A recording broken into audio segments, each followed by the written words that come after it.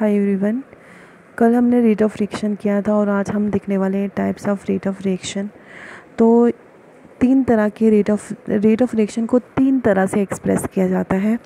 Number one है average rate number two instantaneous rate number three initial rate initial rate जो है ये आपके सिलेबस में नहीं है. ये दो रेट जो हैं ये आपके सिलेबस में दिए गए हैं. तो वन बाय वन करके हम इनको पहले समझते हैं. एवरेज रेट क्या होता है? देखो आपको पता है एवरेज रेट जैसे अभी तक हम जो रेट को एक्सप्रेस करते आए हैं ना, जैसे डेल जो ए बी सी जो भी हमने यहाँ पर सी लिया तो यहाँ पर जैसे हमने डेल सी लिया, अपन डेल टी इसी को एवरेज रेट बोलते हैं। ठीक है? Change in molar concentration of any reactant और product with respect to temperature तो इसी को बोलते हैं एवरेज रेट जैसे आपको पता है रिएक्टेंट डिक्रीज़ होते हैं या कंज्यूम होते हैं और प्रोडक्ट जो होते हैं वो इंक्रीज़ करते हैं या फॉर्म होते हैं तो सबसे पहले हम रिएक्टेंट के लिए एक ग्राफ प्लॉट करेंगे और फिर हम एवरेज रेट देखेंगे, ठीक है? देखो, सबसे पहले हमने ग्राफ कैसे प्लॉट किया? मैं अलग से यहाँ लेती हूँ. ये कंसनट्रेशन वर्सेस टाइम ठीक है? अब आपको पता है इनिशियल में जो रिएक्टेंट की कंसनट्रेशन काफ़ी खासी होती है और धीरे धीरे वो कम होने लगती है है ना? धीरे धीरे डिक्रीज़ होने लगती है। तो ये जो मतलब डाउनवर्ड आ रही है तो मतलब डिक्रीज़ हो रही है। अब आपको बोला गया कि इतनी, आप एक टी वन टाइम पे कंसनट्रेशन देखो कितनी है। तो आपने क्या किया? यहाँ से एक लाइन ड्रॉ करी, है ना?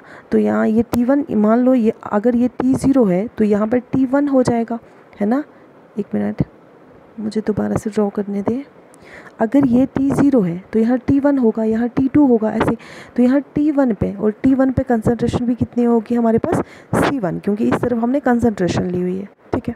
और उसके बाद टी टू पे आपको बोला गया कि देखिए कंसनट्रेशन कितनी है तो टी टू कहीं यहाँ आएगा तो इस पे इस पे कंसनट्रेशन कितनी होगी? सी टू ठीक है? अब मुझे बताएँ टी वन टाइम पे या टी टू टाइम पे? कंसनट्रेशन ज़्यादा कहाँ पे होगी?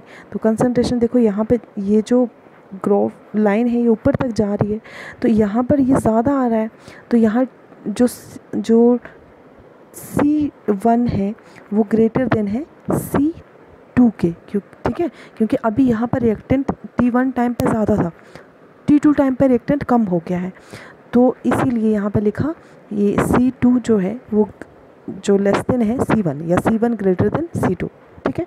अब ये इस वाले ग्राफ को एक्सप्लेन किया। अब यहाँ पर आपको पता है रेट कभी भी माइनस में नहीं जाता। रेट को कभी माइनस में नहीं लिखते। तो हमने यहाँ पर माइनस क्यों लिखा? क्योंकि ये डिक्रीज़ हो रहा है रिएक्टेंट है ना? तो माइनस डेल्टा सी अपन डेल्टा टी ठीक है, किसके बराबर हो जाएगा डेल्टा सी तो ये दो वैल्यूज़ हैं हमारे पास, है ना? सी वन और सी टू तो चेंज इन टेम्परेचर और चेंज इन कंसनट्रेशन इसकी भी दो वैल्यू है। तो डेल्टा सी किसके बराबर है? C two minus C one मतलब फाइनल में से इनिशियल को माइनस किया और डेल्टा टी भी T two minus T one ठीक है तो ये हमारे पास निकल के आए रिएक्टेंट के लिए। चलो प्रोडक्ट के लिए देखते हैं। तो प्रोडक्ट क्या है? वो इनक्रीज़ कर रहा है रेट तो ये जैसे मैं यहाँ पे एक let me draw this graph right here यहाँ पे देखिए बच्चा, ये ऐसा कुछ ग्राफ होगा। इनिशियल में रिएक्टेंट प्रोडक्ट कम बनते जाएँगे। फाइनली फिर प्रोडक्ट बन जाएँगे, है ना? और एक टाइम पे रिएक्शन भी रुक जाएगी क्योंकि वहाँ पर जो रिएक्टेंट हों प्रोडक्ट होंगे ऑलमोस्ट बन चुके होंगे और reaction is will be about to finish है ना? ख़त्म होने वाली होगी रिएक्शन तो यहाँ पर देखिए यहाँ पे भी मैंने आपको बोला टी वन पे कंसनट्रेशन देखिए टी टू पे और यहाँ प्रोडक्ट के केस में देखो टी वन पे यहाँ पर जो प्रोडक्ट थे अभी कम बन रहे हैं, है ना? तो टी टू पे प्रोडक्ट अच्छे खासे बन गए तो ये सी वन हो गया और ये सी टू हो गया। तो यहाँ पर C two greater than C one हो गया। ठीक है? तो इस, यही हो गया हमारे पास average rate average rate average rate अपने दिमाग में इतनी सी बात बता, बिठा दो। देखो, इतनी लंबी थीरी इतनी चीज़ें रटने से अच्छा है कि थोड़ा सा कॉन्सेप्ट अपने दिमाग में बिठा लें। जब del C by del T से रेट को रिप्रेजेंट करें डेट इज़ एवरेज रेट अब आपको क्या बोला गया? मैंने बोल दिया कि बच्चा, ये ना यहाँ पर मुझे टाइम यहाँ पर, यहाँ की कंसंट्रेशन यहाँ की कंसंट्रेशन मतलब इस पॉइंट में स्लोप के, ये स्लोप होती है। तो स्लोप के इस पॉइंट में मुझे बताएँ कि यहाँ पे कितनी कंसंट्रेशन है। आप तो कंफ्यूज हो जाएँगे कि यहाँ पे तो कोई टाइम दिया ही नहीं है। मतलब यहाँ पर टाइम जो है डेट टेंड टू ज़ीरो ये टेन नहीं बोल रहे मैं tend T E N D tend to zero है ना? तो यहाँ पर टाइम ज़ीरो है तो क्या ही कंसंट्रेशन होगी? ठीक है? तो जो इस स्लोप पे जो पॉइंट है ना वही इसकी कंसंट्रेशन होगी। और इसको रिप्रेजेंट कैसे किया जाता है? अब यहाँ पर डेल्टा की जगह स्मॉल डी लगाया जाता है D C by D T ठीक है? जब जो चेंज इन टेम्परेचर होगा, वो टेंड टू ज़ीरो मतलब ज़ीरो वो ज़ीरो होगा, ठीक है? तो उसको बोला जाएगा इंस्टेंटेनियस रेट ठीक है? तो आई होप आपको समझ आ गई होगी। मतलब देखो, जो एवरेज रेट होता है ना, वो फाइनाइट मतलब टाइम के लिए फाइनाइट टाइम के लिए होता है।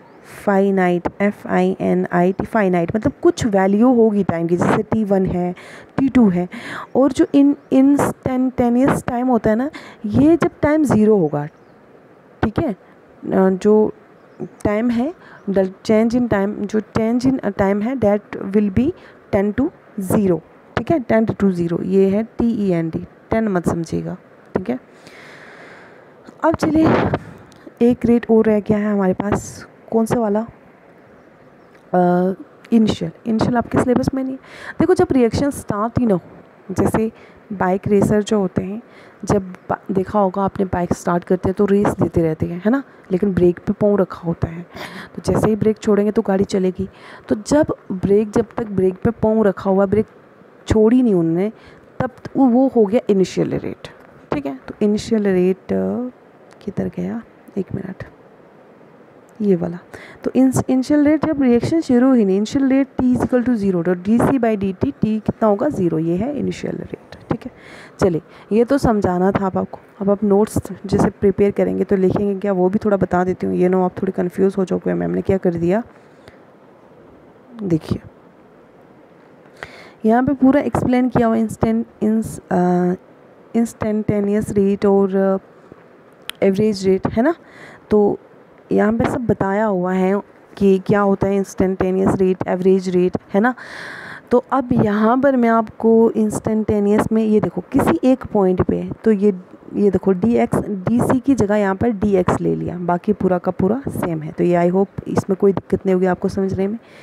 उसके बाद कैलकुलेशन करी हुई है। तो कैलकुलेशन में भी instantaneous rate D X by D T यहाँ पर क्या कर दिया उन्होंने? ये जो ग्राफ मैंने प्लॉट किया था, है ना?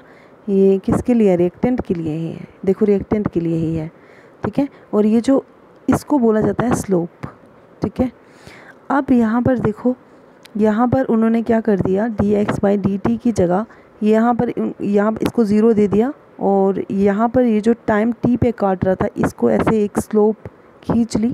ठीक है? ऐसे सॉरी ये वाली, किधर गई? ये वाली। ठीक है?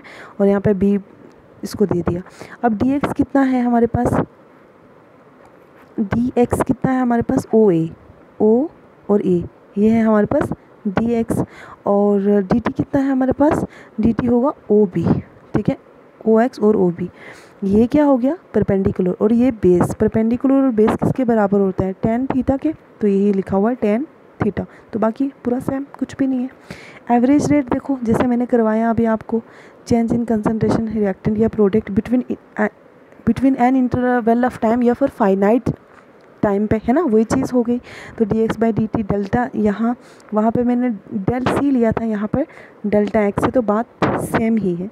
कैलकुलेशन तो कैलकुलेशन मैंने आपको करवाई हुई है। टी वन और टू टी टू और सी वन और सी टू यहाँ पर सी टू की जगह उन्होंने एक्स टू ले लिया, बाकी पूरा का पूरा सेम है तो आज के लिए इतना ही. Thank you